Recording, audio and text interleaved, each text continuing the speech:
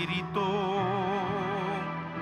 Diwa namin ay bukawin mo, mapag-alabin puso namin sa katotohanan ay akitin.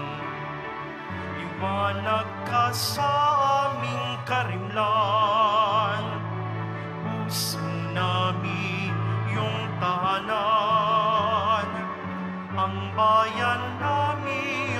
bayan tungo sa katarungan at kalayaan. Papuri sa'yo, O Espiritu, iwa namin ay pukawin mo, pag-alabing puso namin sa katotohanan ay akitin. Sa ngala ng Ama at ng Anak at ng Espiritu Santo. Amen. Sumainyo ang Panginoon. At sumaiyo rin. Mga minamahal kong mga kapatid, isang panibagong simula para sa atin ang araw ng Pentecostes. Tulad sa mga apostol, pinalalakas din tayo ng Espiritu Santo habang kinakarap natin ang mga pagsubok ng mundong ito. Gamitin nawa natin ang mga biyayang kaloob sa atin ng Espiritu Santo para sa paglago at pagpapatibay ng simbahan ang katawan ni Kristo upang tayo ay maging marapat gumanap sa banal na pagdiriwang aminin natin at pagsisikan ang ating mga kasalanan. Panginoong Kesus, binigyan mo kami ng bagong buhay. Panginoon, kaawaan mo kami. Panginoon, kaawaan mo kami. Panginoong Kesus, pinapatawad mo ang aming mga kasalanan. Kristo, kaawaan mo kami. Kristo, kaawaan mo kami. Panginoong Jesus, binabakagi mo sa amin ang iyong katawan at dugo sa Eucharistia. Panginoon, Kaawaan mo kami. Panginoon, kaawaan mo kami. Kaawaan tayo ng Diyos amang makapangyarihan. Patawarin ang ating mga kasalanan at patnubayan tayo sa buhay na walang hanggan. Amen. Papuri sa Diyos sa kaitaasan. At sa lupa'y kapayapaan, at sa lupa'y kapayapaan sa mga taong kinalulugdan niya. Pinupuri ka namin. Inarangal ka namin, sinasamba ka namin, ipinagmumuni ka namin, pinasasalamatan ka namin. Dahil sa dakila mong angking kaurihan,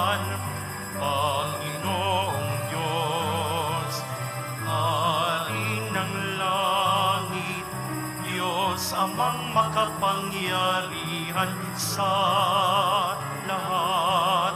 Panginoong Heso Kristo,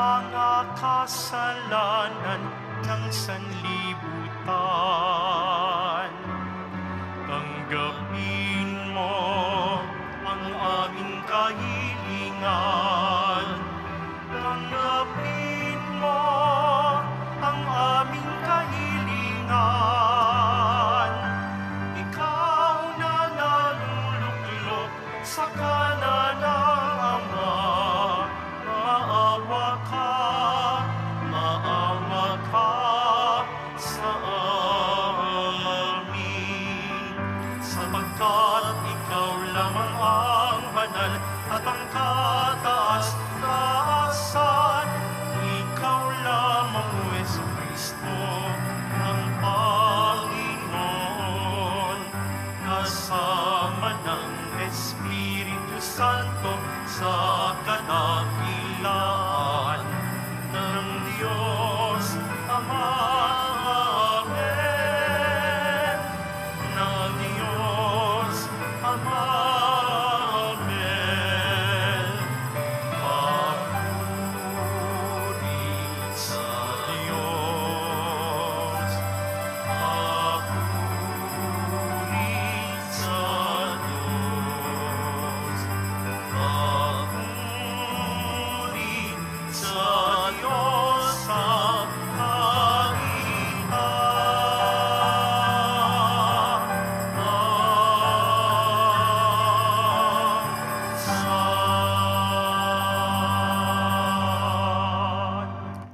Manalangin tayo. Ama naming makapangyarihan, pinabanal mo ang iyong pandaigdig na sambayanan. Sa ipinakakayag mo ngayon sa dakilang kapistahan, gawin mo na ang buong daigdig ay mapuspos ng ganap sa mga kaloob ng Espiritu Santo na bigay mo sa lahat para puspusin ang kalooban ng tanan. Noong ang mabuting balita ay simulang ipangaral sa pamamagitan ni Yesu Kristo kasama ng Espiritu Santo magpasawalang hanggan. Amen. Magsiupo na po ang lahat. Pagbasa mula sa mga gawa ng mga apostol. Nang sumapit ang araw ng Pentecostes, nagkatipon silang lahat sa isang lugar at biglang narinig ang isang ugong mula sa langit. Animoy hagunot ng malakas na hangin at napuno nito ang bahay na kinaroroonan nila. May nakita silang wari mga dilang apoy na lumapag sa bawat isa sa kanila at silang lahat ay napuspos ng Espiritu Santo at nagsalita ng iba't ibang wika ayon sa ipinagkaloob sa kanila ng Espiritu. May mga Hudyong buhat sa iba't ibang bansa na naninirahan noon sa Jerusalem, mga taong palasamba sa Diyos. Nang marinig ang ugong na ito, nagdatingan ng maraming tao, namangha sila sapagkat sinasalita ng mga alagad ang mga wika nila. Sa kanilang pagtataka ay kanilang nasabi, Hindi ba Galileo silang lahat? Bakit ang atin-ating katutubong wika ang naririnig natin sa kanila? Tayo'y mga taga-Parsya, mga taga-Media, mga taga-Elam, mga naninirahan sa Mesopotamia, sa Judea at sa Kapadosya, sa Ponto at sa Asya.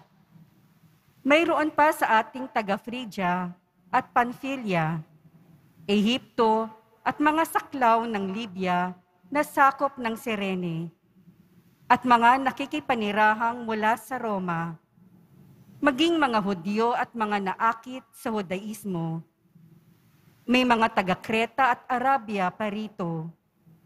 Paano sila nakapagsasalita sa atin-ating wika tungkol sa mga kanga, kahanga-hangang gawa ng Diyos? Ang salita ng Diyos. Salamat sa Diyos. Espiritu mo'y suguin, puon, tanay yung baguhin. Espiritu mo'y suguin, puon tanay yung baguhin. Pinupuri ka, poong Diyos, nitong aking kaluluwa. O Panginoong Diyos, kay dakila mong talaga. Sa daigdig, ikaw poon, kay rami ng iyong likha. Sa dami ng nilikha mo'y nalaganapan ang lupa. Espiritu mo'y suguin, puon tanay yung baguhin. Natatakot mga matay kung kitlin mo ang hininga. Mauuwi sa alabok pagkat doon mula sila. Taglay mo ang espiritu upang buhay ay ibalik. Bagong buhay ay dulot mo sa nilikha sa daigdig. Espiritu mo'y suguin, puon tanay yung baguhin. Sana ang iyong karangal ay manatili kailanman. Sa lahat ng iyong likha, ang madamay kagalakan. Ang awit ng aking puso, sana naman ay kalugdan, habang aking inaawit ang papuri sa may kapal. Espiritu mo'y suguin, puon tanay yung baguhin.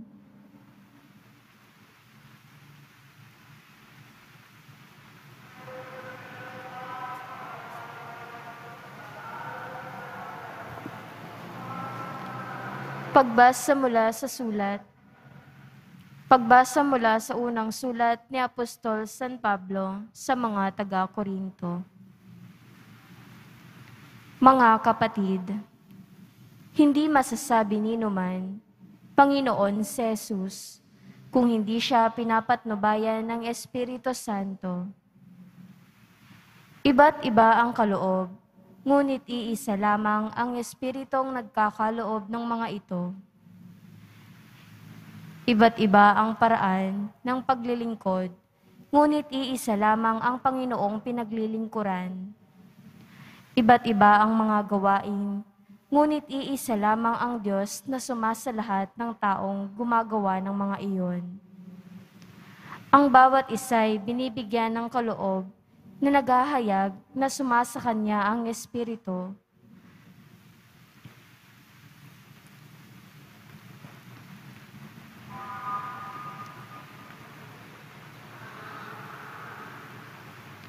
para sa ikabubuti ng lahat.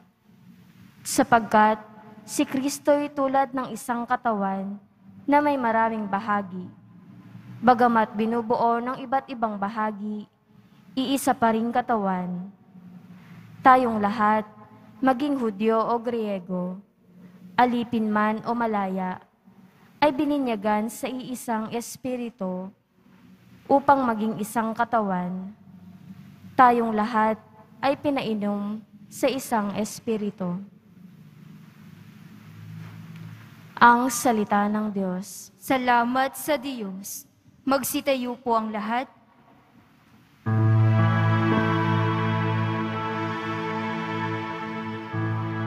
Halina, Espiritu, sa sinagbuhat sa'yo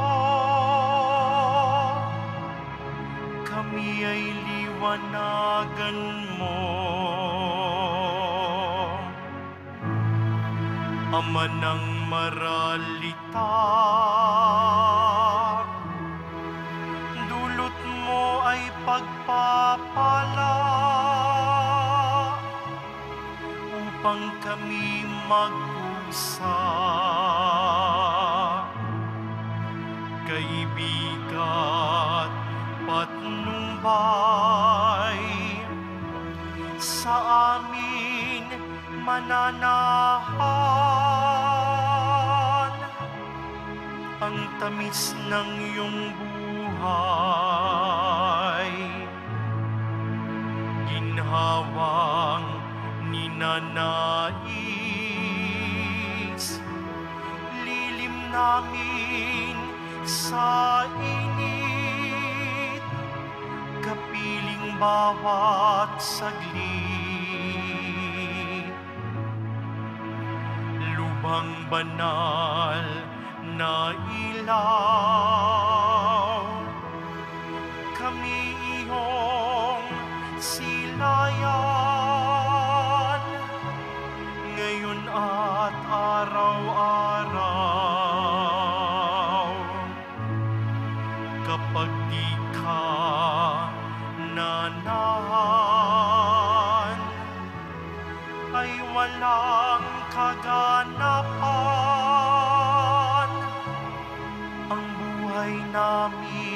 dangal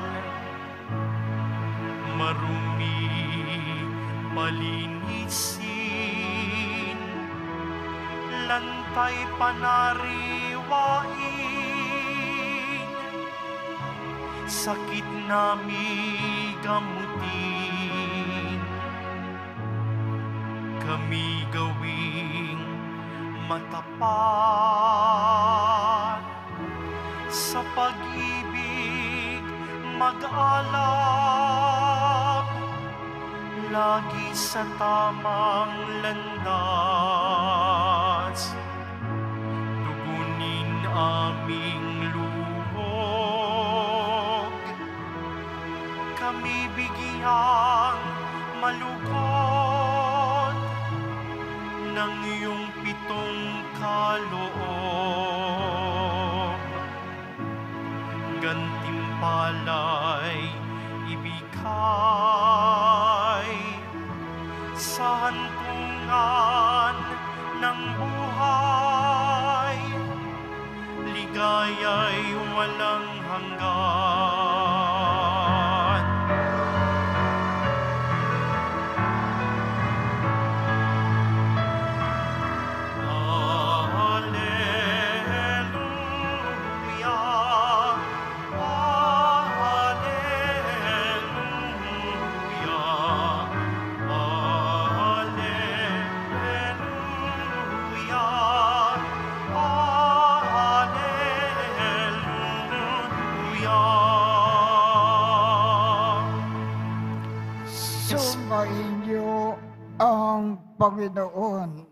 sumaiyo rin ang mabuting balita ng Panginoon ayon kay San Juan. Papuri sa iyo, Panginoon. Noong panakong iyon, sinabi ni Jesus sa kanyang mga alagad, ang patnubay, ang espiritu ng katotokanan, ang paparito mula sa Ama. Sutuguin ko siya sa inyo bukat sa Ama. At siya ang magpapatotoo tungkol sa akin at magpapatotoo rin kayo tungkol sa akin. Sapagkat sa pasimula pa ay kasama ko na kayo. Marami pa akong sasabihin sa inyo, ngunit hindi pa ninyo kayang unawain ngayon Ngunit, hindi pa ninyo kayang unawain ngayon pagdating ng Espiritu ng Katotokanan, tutulungan niya kayo upang maunawaan ninyo ang buong katotohanan sapagkat magsasalita siya hindi sa ganang kanyang sarili. Sasabihin niya sa inyo ang kanyang narinig at ipapakayag ang mga bagay na darating. Pararangalan niya ako sapagkat sa akin magmumula ang ipapahayag niya sa inyo ang lahat ng sa Ama ay akin. Kaya ko sinabi na sa akin magmumula ang ipapahayag niya sa inyo. Ang mabuting balita ng Panginoon. Pinupuri ka namin, Panginoong Heso Kristo. Magsiupo na po ang lahat. Noong tayo po ay nabinyagan, lalong-lalo na nung tayo ay nakumpilan, may dakilang nangyari sa atin.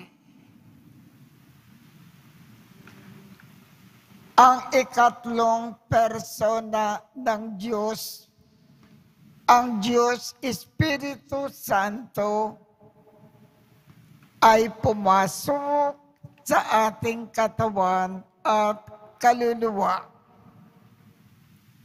at kasama natin siya sa bawat saglit sa lahat ng lugar kung nasaan tayo. Sapagkat siya ay nananakan sa atin.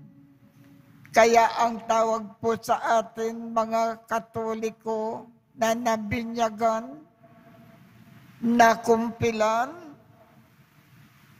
mga templo ng Espiritu Santo. Mga tahanan ng Espiritu Santo. Kaya tayong mga Katoliko, ang ating karangalan po, nasa atin ang Diyos Espiritu Santo sa lahat ng panahon sa mga hindi Kristiyano, hindi Katoliko, wala sa kanila ang Espiritu Santo sapagkat tayo ay nabinyagan na kumpilan ang pagkakaiba natin sa mga hindi katoliko. Nasa atin ang Diyos daladala natin ang Diyos sa ating sarili. Ngayon, kung nasa atin ang Diyos Espiritu Santo, ano ang kanyang ginagawa sa atin? Tayo ay kanyang ginagabayan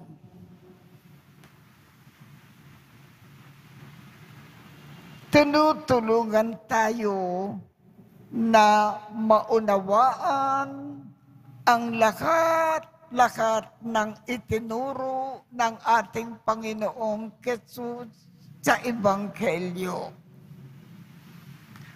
At tinutulungan tayo isagawa ito sa ating buhay bawat saglit Tinutulungan tayo ng Diyos Espiritu Santo na maging tunay na Kristiyano sa isip, sa salita, sa gawa.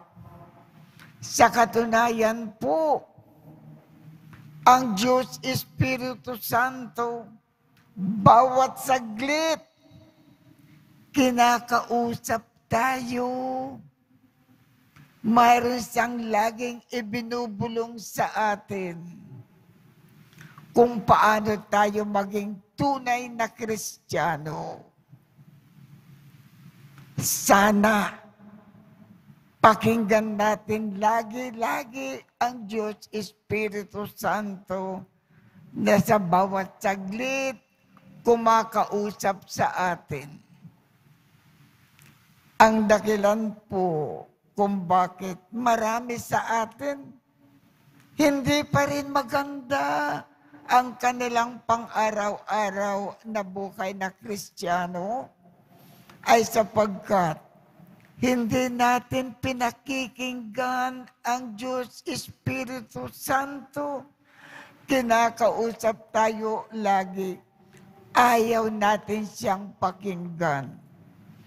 Kaya ang kanyang tulong parang naging inutil. Igalang natin ang Diyos Espiritu Santo na nasa atin. Ang pinakaparaan kung paano natin siya igalang. Pakinggan natin lagi-lagi siya. Marami siyang sinasabi sa atin para tulungan tayo sa lahat ng paraan. Ang sins against the Holy Spirit, yung hindi natin pinakikinggan ang Holy Spirit. Kinakausap natin tayo lagi, hindi naman natin sa pinakikinggan. Nakakahiya. Nakakahiya Diyos ang kumakausap sa atin. Ayaw naman natin siyang pakinggan. Wala tayong sapat na galang. Kung ibig natin maging napakaganda ang ating bukay kristyano, araw-araw, ang pinakaparaan, pakinggan natin ang Diyos Espiritu Santo na laging kumakausap sa atin. Kaya tumayo po tayo at isagawa natin ang ating pananampalataya. Sumasampalataya ako sa Diyos tamang makapangyarihan sa lahat na may gawa ng langit at lupa.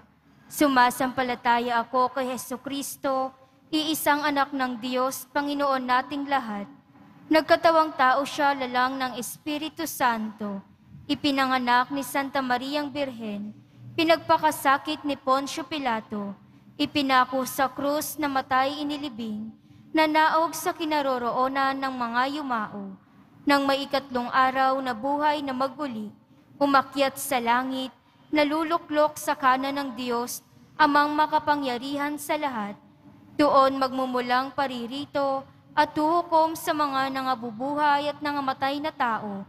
Sumasampalataya naman ako sa Diyos Espiritu Santo, sa banal na simbahang katolika, sa kasamahan ng mga banal, sa kapatawaran ng mga kasalanan, sa pagkabuhay na muli ng mga nangamatay na tao, at sa buhay na walang hanggan. Amen.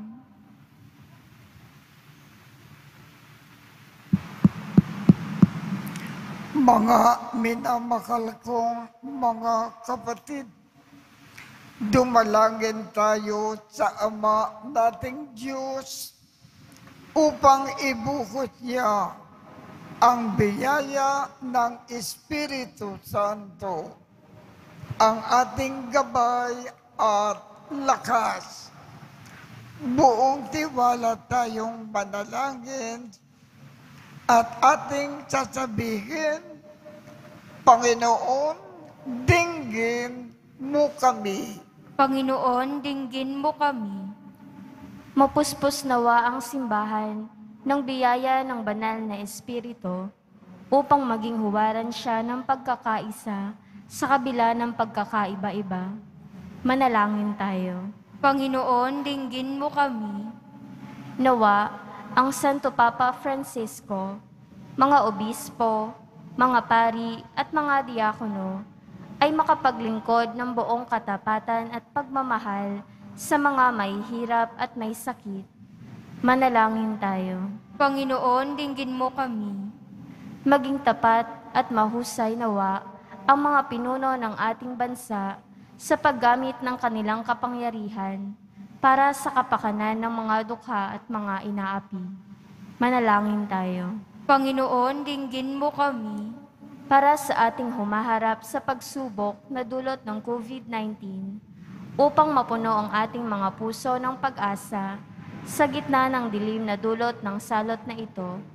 Manalangin tayo. Panginoon, dinggin mo kami.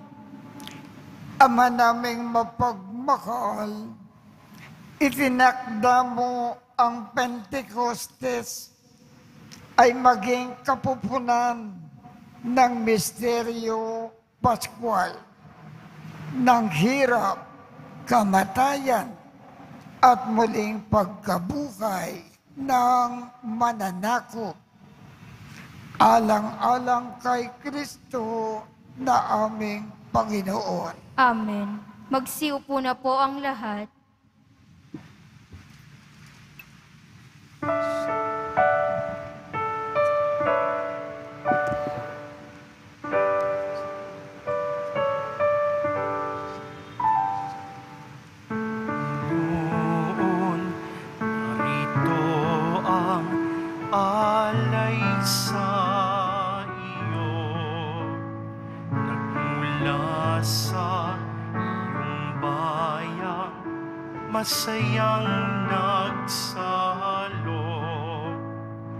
amin sana mga alay.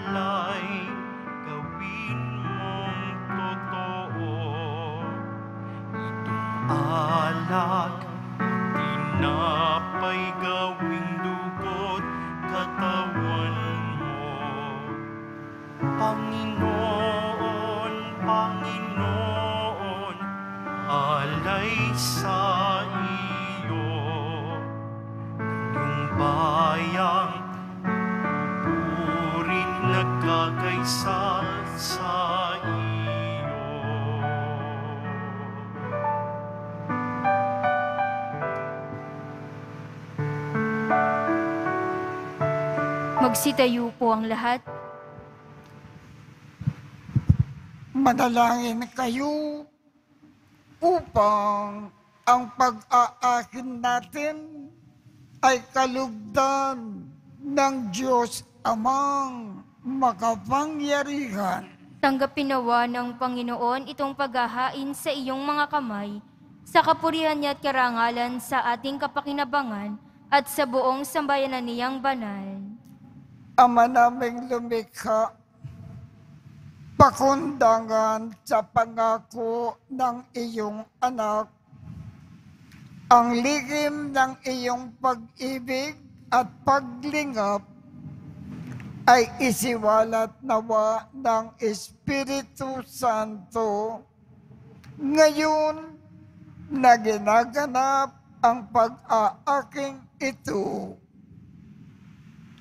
na saring nawang maglakad ng iyong katapatan sa pamamagitan ni Yesu Kristo kasama ng Espiritu Santo magpasawalang hanggan. Amen.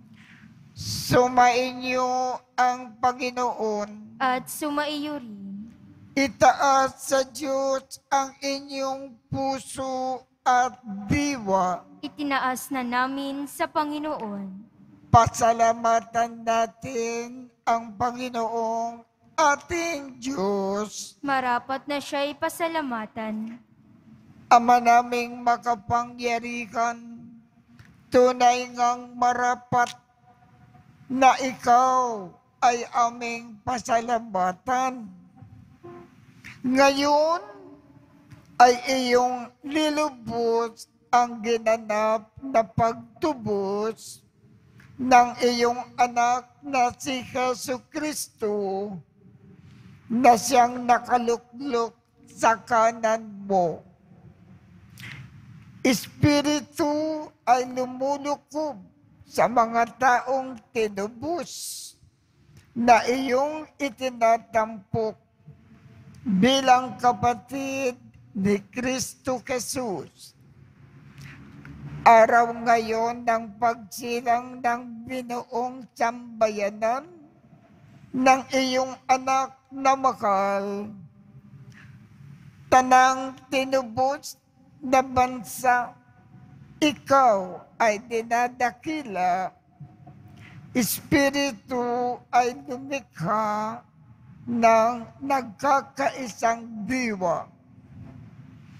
Kaya kaisa ng mga anghel na nagsisiawit ng papuri sa iyo nang walang kumpay sa kalagitan. Kami ay nagbubunyi sa iyong kadakilaan.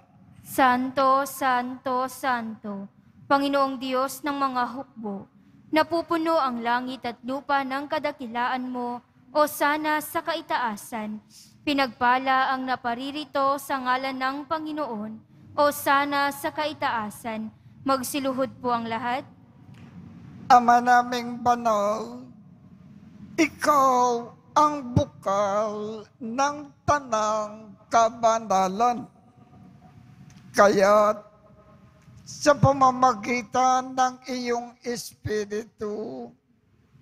Gawin mong banal ang mga kaloob na ito upang para sa amin ay maging katawan at dugo ng aming Panginoong Jesu Kristo bago niya pinagtiisang kusang loob na maging handog. Hinawakan niya ang tinapay. Pinasalamatan kanya. Pinaghati-hati niya iyon. Iniabot sa kanyang mga alagad at sinabi, Tanggapin ninyong lakat ito at kanin. Ito ang aking katawan na ikahandog para sa inyo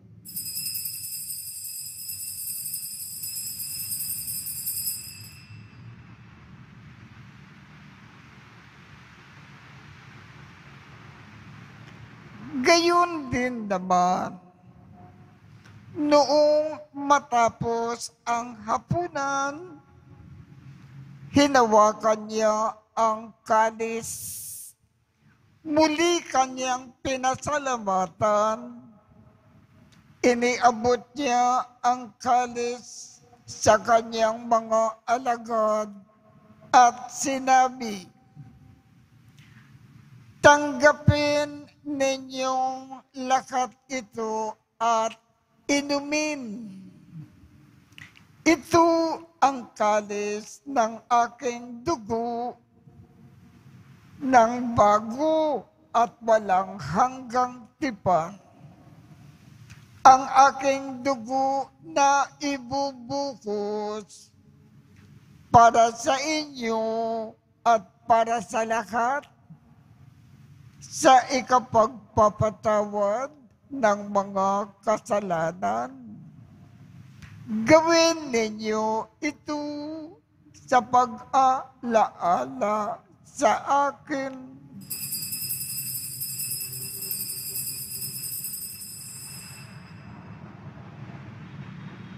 Magsitayo po ang lahat.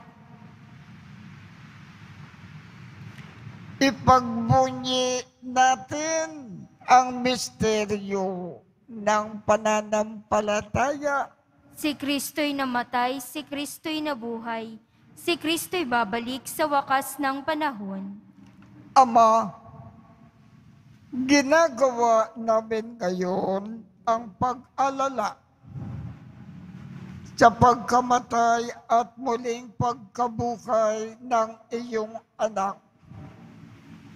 Kaya't iniaalay namin sa iyo ang tinapay na nagbibigay buhay at ang kalis na nagkakaloob ng kaligtasan. Kami ay nagpapasalamat dahil kami ay iyong minarapat na tumayo sa harap mo para maglingkod sa iyo.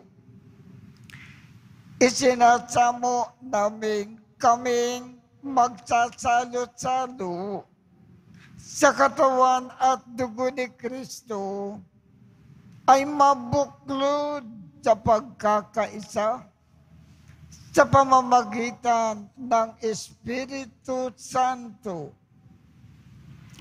Ama, Lingapin mo ang iyong simbakang laganap sa buong daigdig. Puspusin mo kami sa pag-ibig. Kaisa ni Francisco, aming Papa, Broderick, aming tagapangasiwa, at ng tanang kaparian Alalakanin mo rin ang mga kapatid naming nakimlay nang may pag-asa na sila ay muling mabubukay. Gayon din ang lakat ng mga pumanaw.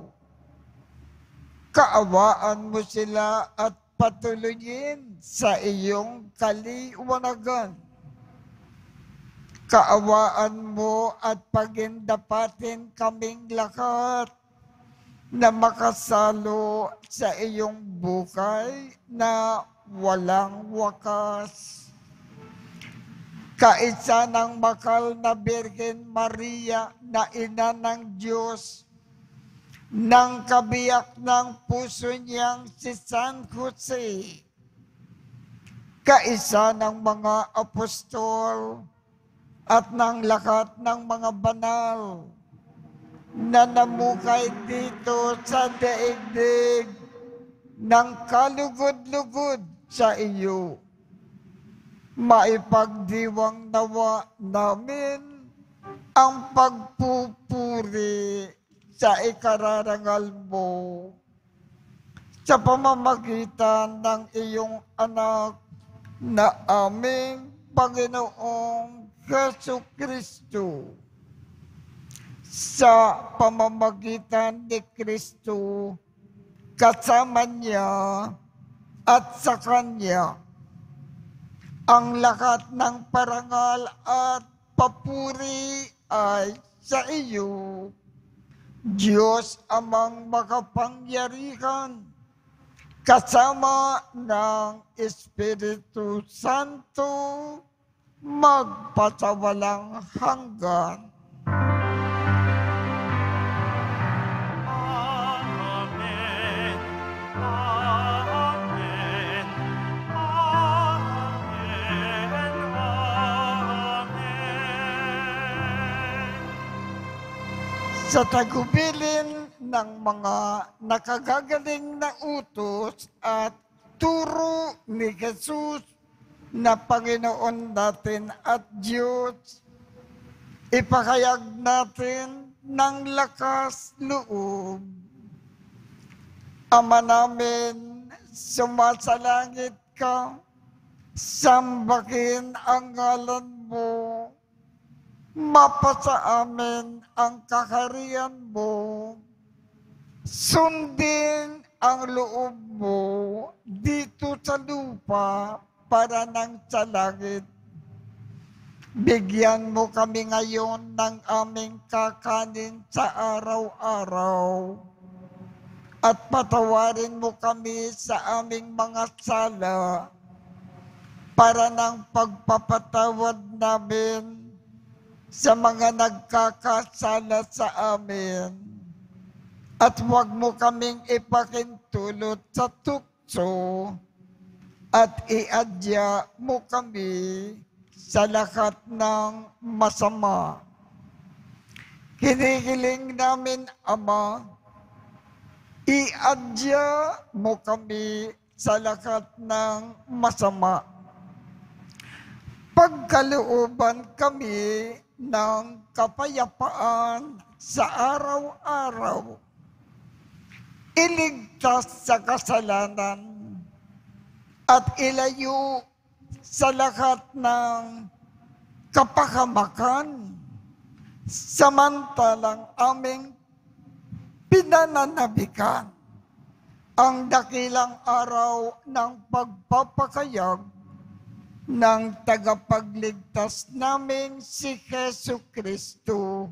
Sapagkat iyo ang kaharian at ang kapangyarihan at ang kapurihan magpakailanman. Amen. Panginoong Keso Kristo, sinabi mo sa iyong mga apostol, Kapayapaan ang iniiwan ko sa inyo, ang aking kapayapaan ang ibinibigay ko sa inyo. Tungkayan mo ang aming pananampalataya at huwag ang aming mga pagkakasala. Pagkalooban mo kami ng kapayapaan at pagkakaisa ayon sa iyong kalooban kasama ng Espiritu Santo magpasawalang hanggan. Amen. Ang kapayapaan ng Panginoon ay laging sumainyo. At sumainyo rin. Magbigayan tayo ng kapayapaan sa isa't isa. Kordero ng Diyos na nag-aalis ng mga kasalanan ng sanlibutan, maawa ka sa amin. Kordero ng Diyos na nag-aalis ng mga kasalanan ng sanlibutan, maawa maawa ka sa amin. Kordero ng Diyos na nag-aalis ng mga kasalanan ng sanlibutan, ipagkaloob mo sa amin ang kapayapaan. Magsiluhod po ang lahat. Ito ang kordero ng Diyos. Ito ang nag-aalis ng mga kasalanan ng sanlibutan. Mapalad ang mga inaanyayakan sa kanyang piging. Panginoon, hindi ako karapat-dapat na magpatuloy sa iyo, ngunit sa isang salita mo lamang ay gagaling na ako.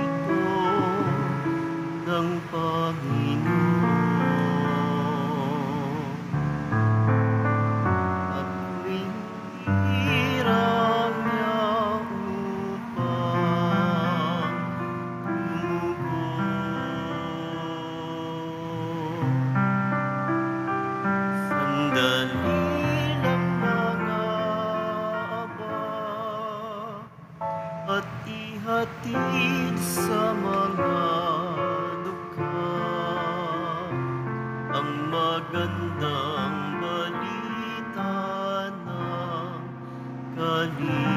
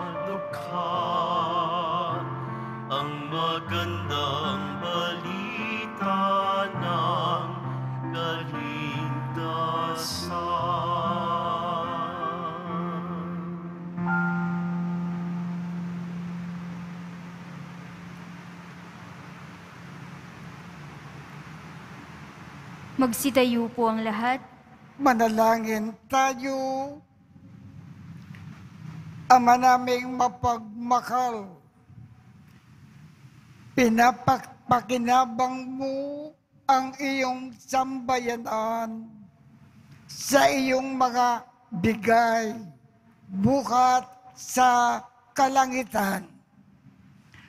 Ang iyong pagpapalang kaloob sa amin ay iyong panatilihin upang laging masagana na dumaloy ang Espiritu Santo at ang aming pinagsaluhan sa pagdiriwang na ito ay magdulot ng pag-unlad sa pamamagitan ni Heso Kristo magpasawalang hanggan. Amen.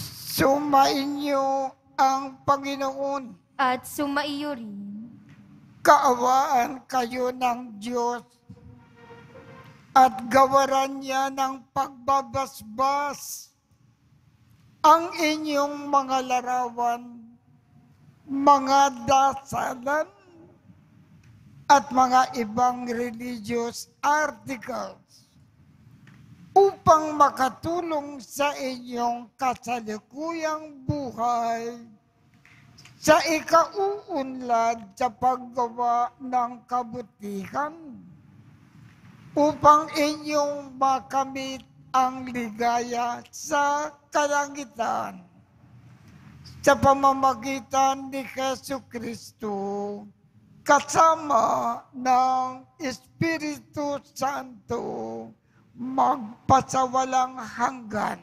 Amen at pagpalain kayong lahat ng makapangyarihang Diyos, Ama, Anak, at Espiritu Santo. Amen.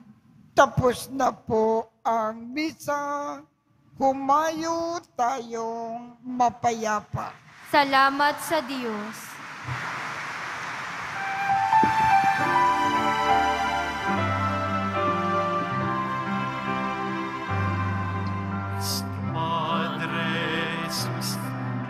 Nazareno, sinasamba ka namin.